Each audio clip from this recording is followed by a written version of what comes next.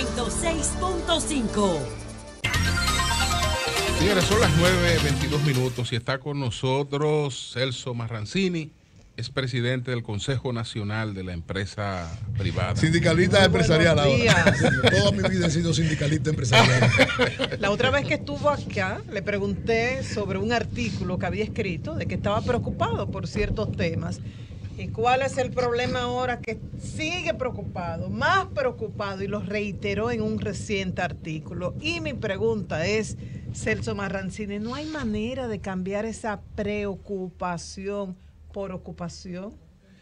Mira, eh, yo creo que eh, si este programa eh, se grabara eh, cuando ustedes están fuera de cámara, yo creo que ahí se sumaría eh, a lo que yo digo que me preocupa mi país.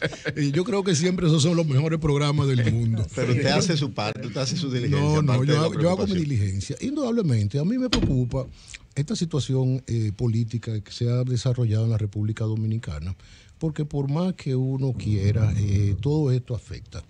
Incluso vamos a ir tan, eh, tan atrás como en el mes de enero, cuando empezó a haber los problemas, que no fueron problemas, fue realmente eh, algo que se, que se orquestó en contra de la República Dominicana, contra el sector turístico, que había crecido demasiado. O sea, el sector turístico creció dos cifras el año 2018, la competencia no soportaba eso. Pero nosotros que hemos estado envueltos, y digo nosotros, República Dominicana, en una campaña política de cuatro años, en una campaña política que realmente ha, ha desbordado lo que nosotros entendíamos que nosotros habíamos superado. Y por ejemplo en ese artículo a que tú te refieres donde yo decía Marilena me sigue preocupando el país yo decía que habíamos vuelto tal vez a la época del Concord a la época de la- del 94 eh, eh, cosas que ya nosotros los insultos yo creía que los insultos iban a haber desaparecido de la discusión política porque uno puede tener diferencias. Ustedes la tienen aquí. Cada día cada cual presenta una posición diferente. El otro día oía, yo los oigo a veces por la noche en YouTube porque por la mañana no puedo, pero disfruté muchísimo la discusión entre José Lalú y entre Eury. Uno lo disfruta inmensamente. Ustedes en el fondo todos A veces son la amigos. sufrimos A veces también. la Yo la sufren sufro, también. Yo, Celso. que- yo la sufro también cuando las veo. No, que a veces hay que llevar su calvario como Jesús. Yo sé que sí. Tú estás abusando porque el alumno está aquí hoy. Lo voy a defender. Entonces, realmente hay mucha diferencia. No, si hay, ese eh, ejemplo eh, que yo tratando de arreglar parece que lo dañé. Exactamente. Entonces, eh, eso es parte de lo que uno le preocupa. O sea, el, propio gobernador del Banco Central eh, dijo el otro día que el crecimiento ha disminuido, eh, tal vez no solamente por el entorno internacional, también por la incertidumbre que todo esto, uno oye empresarios que dicen, no, yo tengo un proyecto, pero yo quiero que esto se aclare. Entonces yo creo que eso es parte de lo que nosotros tenemos, una, un país maduro políticamente como el nuestro, que ha tenido tantas elecciones corridas eh, sin ningún tipo de inconveniente. Yo creo que hay que buscar una, eh, la avenencia entre los partidos. Siempre va a haber diferencia.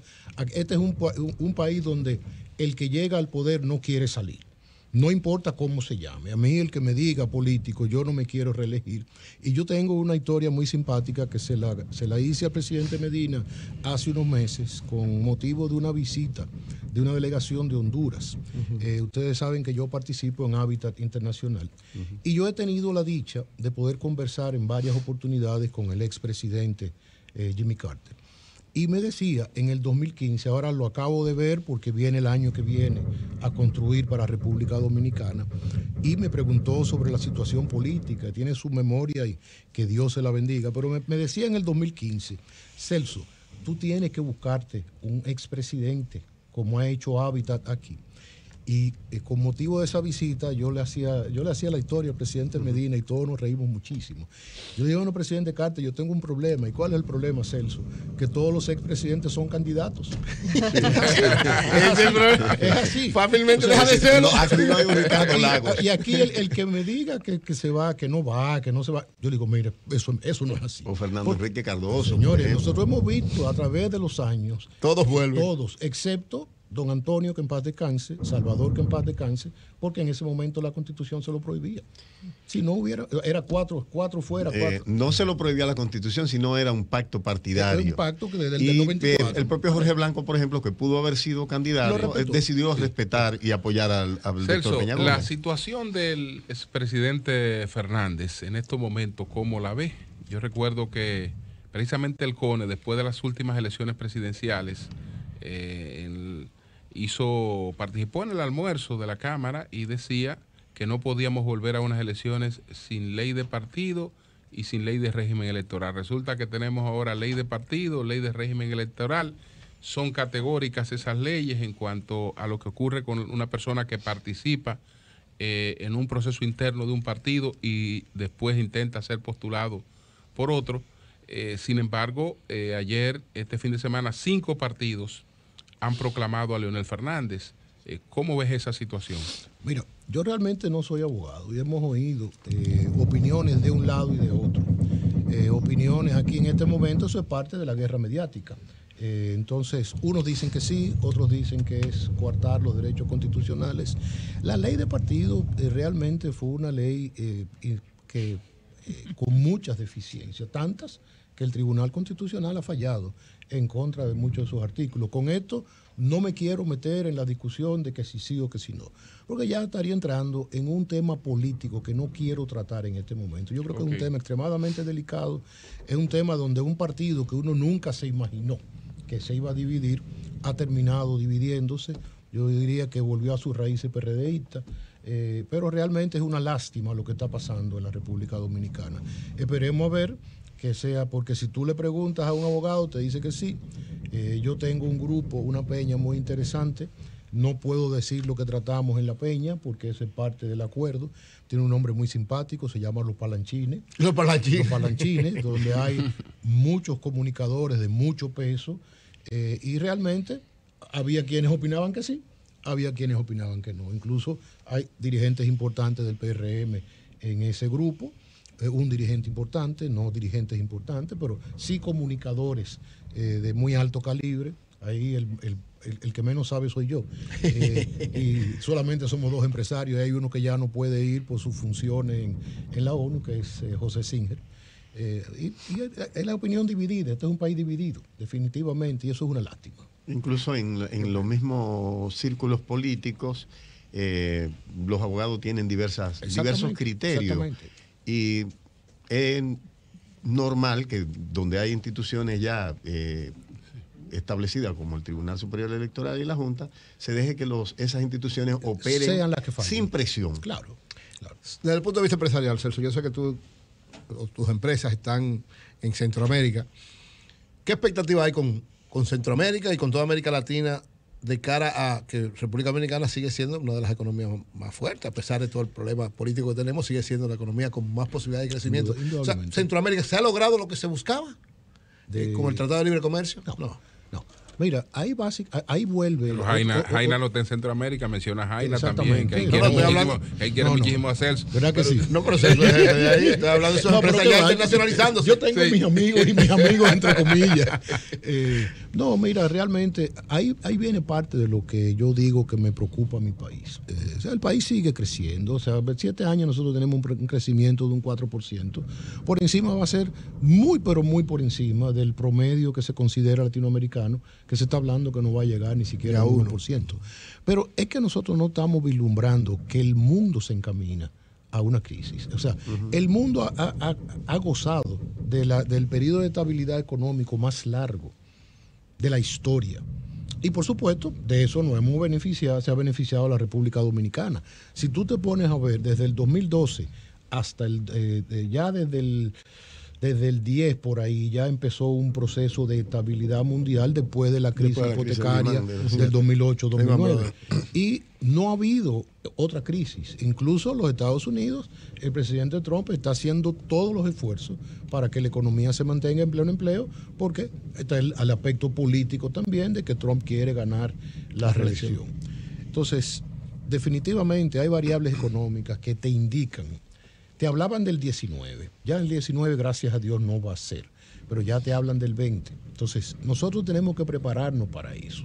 Nosotros tenemos que ver hacia adelante qué medidas. La relación con China no podría ser un... Eh, es, ese es parte del, del problema que puede haber geopolítico. En el caso nuestro, los Estados Unidos definitivamente no le gustó la relación con China, no porque no, de- no, no debemos de tenerla, debemos de tenerla, sino tal vez por el momento en que fue donde los Estados Unidos tienen un enfrentamiento con Venezuela, China es un, eh, un actor muy importante dentro de Venezuela, como lo es Cuba. Entonces todo eso los Estados Unidos definitivamente lo ven con preocupación de lo que está pasando en su patio.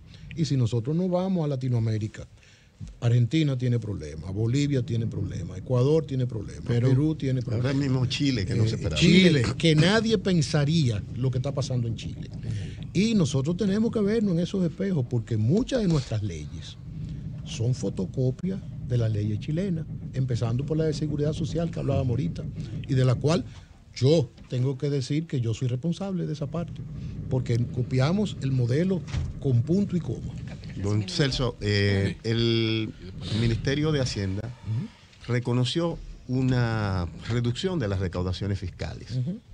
En el mismo momento en el que el gobernador del Banco Central hablaba de el crecimiento de la economía, que no fue tanto como se esperaba, pero que había sido como usted acaba de decir.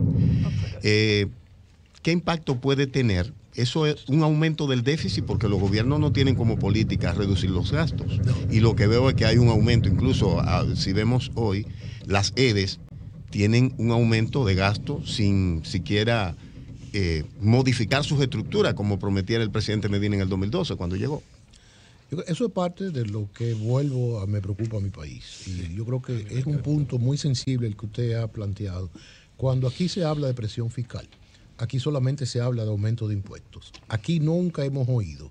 Vamos a eficientizar los gastos. Vamos a ver cómo todos estos eh, consejos que hay. Sí, por yo lo he planteado. lados, Yo sé que sí. Yo sé que sí. Y todo Incluso he oído declaraciones muy responsables de parte suya como política. Y la felicito. Siga por ese camino, no me cambie cuando usted sea senadora. Gracias. Eh, ay, si Rafi Paz me oye, me Ay, ay, ay, ay. Tú sabes bien que el senador va a Ya ser. vi que su voto es por Faride. no importa. ¿eh? No, no es por Faride, no. es por Faride, no. No, en la clase no se suicida. Continuamos. Eh, mira, yo voy a hacer como una alguien hizo una vez. Cuando yo vaya a votar, te lo voy a enseñar. Señor Celso. No, él eh, está hablando de la percepción de Sí, lo que se sí, siente. eh, realmente, Un saludo eh, para nuestro hermano Rafi, que lo queremos muchísimo. Eh, por supuesto. el próximo senador. al lado. Eh, realmente. Tú vas a Eh, votar, y, ¿no? y- y No. to- todo eso. o sea, no- yo no eh, nosotros estamos en una etapa peligrosa porque estamos en una etapa de elecciones y aquí los déficits siempre se hacen en periodos electorales, sin duda. Así es. Entonces, si no nos cuidamos frente a una disminución De las recaudaciones, del del- turismo, eh, si, si disminuye el negocio con, eh, eh, en general con Centroamérica, que preguntaba Eury, y gracias Julio. La situación de Europa puede bajar las- remesas primero, y en el- Claro. Centroamérica va después. Claro. Eh, realmente el Tratado de Libre Comercio nosotros no nos hemos beneficiado de eso. Anda. Eso es así, ha sido deficitario con todos los países. ¿Responsabilidad de quién? Eh, Yo creo que no- eh, es mucha culpa del país en general. Uno no, no le puede echar la culpa al gobierno, ni nos pueden echar la culpa a nosotros tampoco. Yo creo que es parte de un trabajo público-privado, de hacer eficiente muchas cosas que aquí no se hacen. Empecemos por el problema de los gastos. O sea, nosotros tenemos un país que, que gasta demasiado. Y una burocracia muy, Eh, una muy burocracia- onerosa, una difícil. para- burocracia para- ese inmensa. negocio aquí es demasiado difícil, formal. servicio todavía defi- deficitario, porque aquí cuando se habla de servicio se piensa en electricidad, pero no es ese solo problema. ¿Cuál fue el problema con mis queridos regidores de Jaina, que Julio me preguntó por ellos y Eury me preguntó? Simplemente yo iba, estoy, eh, estaba construyendo, señores, un tanque de agua. 250 mil galones. En Jaina las empresas no tenemos agua. El fuego que yo sufrí el 5 de septiembre del 2017 básicamente se generó porque no había agua. Hay que llamar a la a INAPA para que abra las válvulas que están por Itabo. Entonces los camiones de los bomberos tienen que ir Ir a buscar. ir a buscar. Y ahora, ¿quién apagó el, el agua con que se apagó el fuego del, del Del vertedero? vertedero. Gracias al ministro de las Fuerzas Armadas que mandó los helicópteros y gracias al tanque nuestro de los 250 mil galones. De lo que no querían que que construyeran. los regidores no querían que yo construyera. Y, y- y no le construí uno solo, le construí dos. Don O sea, Celso, que Jaina tiene medio millón de galones para el fuego que yo espero que no ocurra nunca. Que no. Sí. bueno, de lo seguro que Muy no es bien. bueno usar. Pero usted hablaba de la seguridad social, de cómo mirarnos en el modelo chileno y de otros países. Y ya uno está viendo dolencias en el sistema. Y otras las vamos a ver cuando ya una cantidad importante de dominicanos demanden pensión, que todavía no estamos ahí. Ahora, cuando se hizo el modelo, se excluyó al Banco Central, por ejemplo, de la obligatoriedad de cotizar No solamente al Banco Central, a al la. Suprema Corte de Justicia, a la Junta Central Electoral y el propio Congreso. Así mismo. Y resulta que los congresistas con cuatro años siendo congresistas salen con una pensión X. Entonces te plantea una inequidad, te plantea una locura que la gente no se ha levantado en contra de eso. Pero entonces, ¿entiende usted que hay que cambiar el modelo? Que la cotización tiene que ser universal, empezando por esos funcionarios públicos excluidos. Siempre lo dijimos. E incluso yo recuerdo en, esa ocasión una visita, eh, ya era expresidente Patricio Alvin, eh, donde Fran Castillo, que en paz descanse, y yo, le hacíamos la pregunta de que cómo en Chile implementaron el sistema de seguridad social. Y él dijo, solamente bajo una dictadura. Nosotros logramos implementarlo sin dictadura. Ahora, esa preocupación que usted tiene sobre las pensiones las tengo yo. Ustedes los más jóvenes, si aquí no se modifica, porque el problema no es solamente del sistema de pensión. El problema es que nadie habla de eso, de un déficit cuasi fiscal inmenso que tiene el Banco Central como resultado de la, de la quiebra bancaria 2003. del 2003-2004. Y el gobierno no ha estado haciendo los aportes a ese déficit cuasi fiscal. Yo cobré mi pensión, o sea, yo me jubilé y después volví a trabajar. Porque yo definitivamente no tengo edad para estar de vago. Pero yo aseguré que lo que yo había aportado, como ya yo tengo más de 60 años, yo lo podía cobrar. En el viejo modelo. en el viejo modelo. Ahora, los más jóvenes que empezaron a cotizar, si aquí no se toma en consideración ese problema, mi teoría es que no lo van a ver. Y sobre todo que el Estado está ah, gastando. Faride. En y los funcionarios excluidos. en- entonces, en- en lo- o sea, quienes más pueden aportar, los Y por ejemplo, eso los lo critica- diputados y lo- demás lo- están eso fuera. lo criticamos siempre. Están fuera. ¿Cómo usted legisla y después se excluye? Eso solamente, para- eso solamente aquí se en da la en este República país. Dominicana. O sea, Faride. Entonces, yo me voy a ir al sector energético porque es de mucha preocupación. me quiere dar un corrientazo. Sí, involucra demasiados recursos económicos y mucha falta de transparencia. En República Dominicana, desde el año 2012 hasta la fecha, tenemos un plan de reducción de pérdidas de las distribuidoras que ha involucrado financiamientos internacionales por más de 400 millones de dólares y no ha habido un impacto realmente significativo en la reducción de pérdidas que tienen las distribuidoras y seguimos arrastrando, arrastrando ese déficit que de alguna manera u otra impide también que el servicio sea dado con calidad. A, usted como, como conocedor del tema, como conocedor del sector energético, ¿a qué atribuye que por más inversión que hayamos hecho y que sigamos haciendo, endeudándonos, no ha sido posible un impacto realmente significativo? Mira, hay algunas de las distribuidoras que se han comportado mejores que otras. Yo, yo he tratado de mantenerme lo más alejado posible del sector. Sé que de sur, eh, porque eh, he conversado con Radamés del Carmen, a quien conocí cuando fui vicepresidente de la CDE y, del, y presidente de las distribuidoras. Eh, y hemos conversado y realmente han bajado la- las pérdidas a un 22. Ahora, ¿cuál es el problema fundamental del sector eléctrico? Tiene un solo, una sola palabra. ¿A un 22 en cuánto tiempo, don Celso? Eh, bueno, estábamos hablando desde el año 2009 al año 2019, en 10 años. Eh, la- la- lo que nosotros entendíamos que ya para el año 2019, nosotros debíamos estar en un 12 o en un 13. Eh, y ahí estamos hablando de pérdidas técnicas y no técnicas. ¿Cuáles son las no técnicas? Son la- eh, eh, la- las técnicas son las que, las que se pierde por, por distribución, por transmisión, no es el robo, ni es la ineficiencia de la propia distribuidora. Ahora, ¿cuál es el problema básico del sector eléctrico? La política. O sea, mientras haya un componente político. Aquí habla de un 27.3% la pérdida. la pérdida, es decir, que 27. casi an- andan próximo al 30%. Según, Eh, él, él- él me habló eh, de un esto- Y esto él- es un dato él- oficial. él me- bueno, a claro, mí- la que menos pierde es de sur. Es de sur. La que, la que Ahora- menos pierde, usted ahora, tiene razón. En términos generales, un tener- 27 Hay que tener en cuenta 30. que de Sur tiene lo mejor de los clientes. Eh, de Norte es un verdadero problema. Eh, de Norte tiene dispersiones de terreno tan grandes que se pierde a veces un 20% en la transmisión. Entonces, Edenorte nunca debió haber separa- haberse separado de Sur. ¿Por qué se separó de Sur? Por la política. Y de este Eh, tampoco aquí una distribuidora no, puede no, manejar todo. de este realmente era eh, cuando nosotros llegamos eran dos distribuidores. Era privado. Una no, no, ya cuando nosotros llegamos era pública. Ya Radamés Segura había hecho una excelente compra. Eh, AES la había vendido a TCW en Correcto. 2 dólares y Radamés Segura la compró en 25 millones de dólares. Eh, pero nada, vamos a dejar esas cosas, ya son cosas del pasado. Eh, indudablemente habían dos distribuidoras. Una muy bien manejada por TCW y estaba la parte del PRA, que era el programa de reducción de apagones, que era un verdadero desastre.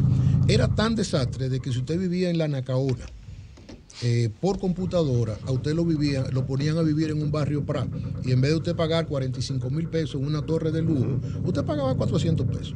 Y cuando yo llegué de sur, yo me encontré con mil personas capaces de cambiar la base de datos. Era así de grave. Yo la bajé a uno.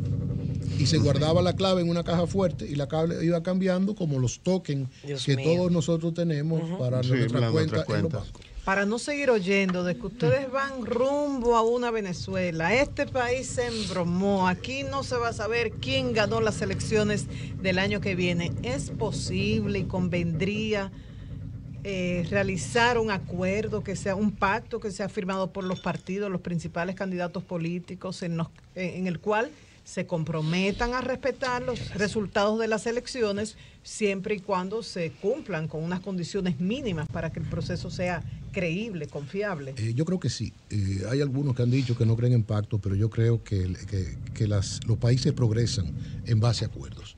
Eh, yo creo que sí, que es necesario. ¿Qué crisis mayor que la que nosotros tuvimos en el 94?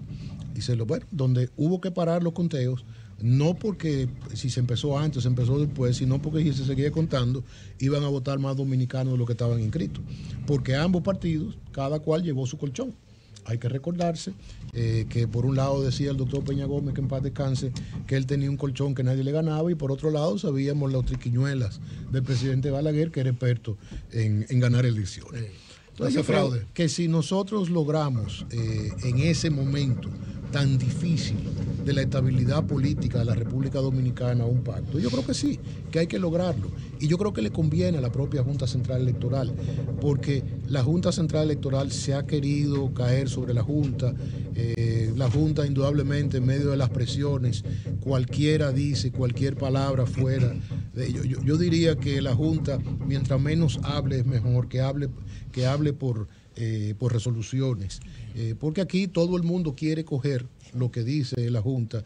Y yo de los cinco miembros de la Junta hay cuatro que conozco y son personas eh, honorables, donde sería injusto hablar mal de ellos, eh, que cometen errores como todo ser humano. Bueno, el ser humano que no comete errores realmente no Fue el que se murió. Bueno, el que se murió no comete Señores, errores. muchas gracias, don Celso Marrancini. Gracias, Celso. A ustedes. Un saludo para don Antonio Espallá, el presidente de RCC Media. Y que nos excusen el- la vibración que hay, que sigan construyendo un gran edificio al lado de la emisora. No tiene que ver con nosotros. Cambio fuerte.